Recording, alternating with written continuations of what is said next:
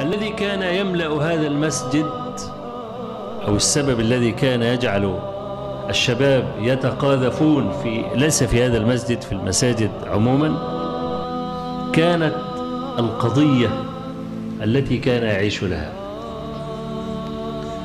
كنت أعرف في شباب كانوا ينزلوا قبل الكمين ويمشوا يمشوا في الغيطان يلفوا ويطلعوا من وراء الكمين وهو سعيد أنه انتصر عليهم.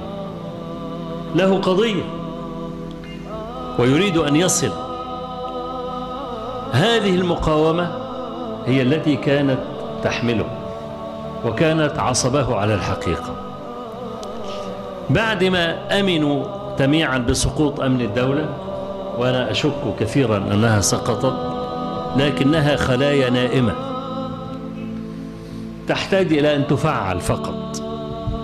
ونحن لا ندري ما تحمله الأيام القادمة. يعني لا تفرح كثيرا فالأيام القادمة ربما تشتمل على شيء من المفاجآت. فالدولة العميقة كما يسمونها الآن قائمة على قدم وساق. ونحن اللقمة السائغة المنتظرة.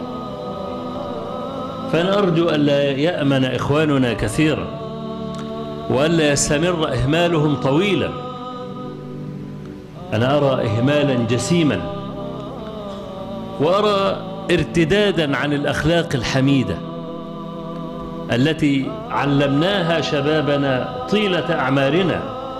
نحن ما سببنا قط مع كثرة الهجوم علينا وما أكلنا أعراض المخالفين مع كثرة الهجوم علينا.